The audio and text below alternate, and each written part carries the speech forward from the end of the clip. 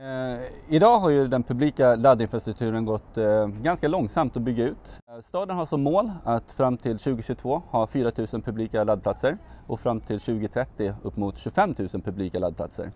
Så för att eh, hinna bygga ut all den här laddinfrastrukturen till 2022 och 2030 så har vi på Ellevio sett över vårt arbetssätt har jag förstått.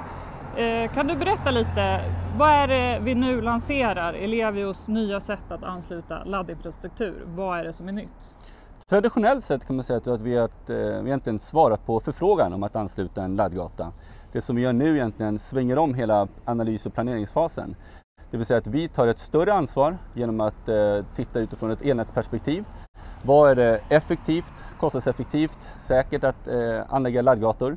Och eh, jobbar tillsammans med staden för att eh, delge vår, vår initiala analys och göra det tillgängligt för laddoperatörerna att eh, boka dessa laddgator. Det vill säga att Ellevio vi tar helhetsansvaret från planering till att vi har en färdig laddgata. Berätta, vilka är de stora vinsterna med den här nya modellen?